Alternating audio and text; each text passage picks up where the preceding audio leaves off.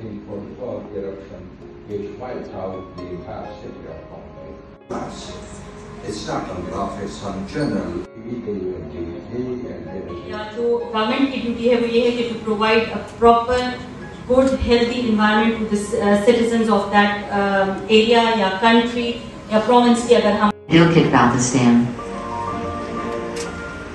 The project is installing such automatic weather stations chancellor of the university. I don't remember exactly.